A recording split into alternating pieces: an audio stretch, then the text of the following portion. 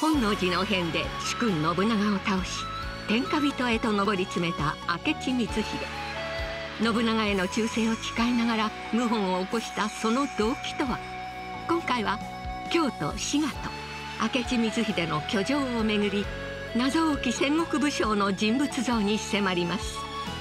京都ロマン悠久の物語日曜夜9時お見逃しなく。